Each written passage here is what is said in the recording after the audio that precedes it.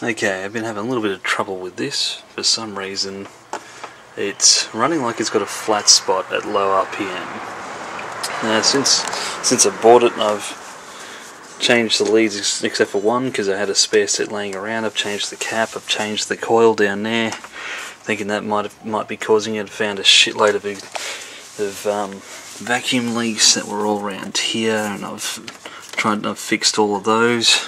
Um, and the only thing I can think of is it could be the wires for the throttle positioning sensor, the airflow meter itself, or it could be the dizzy.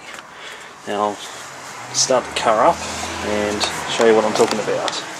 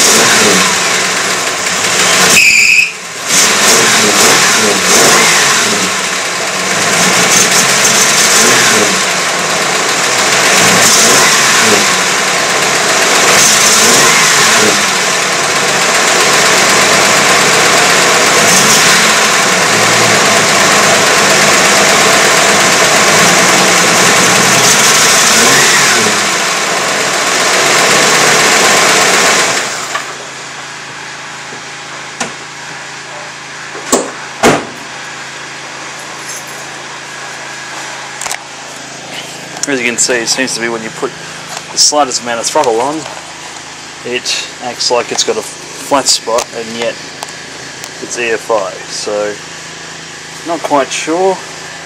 I'll put the posters up in the Ford forum and uh, see what you guys think.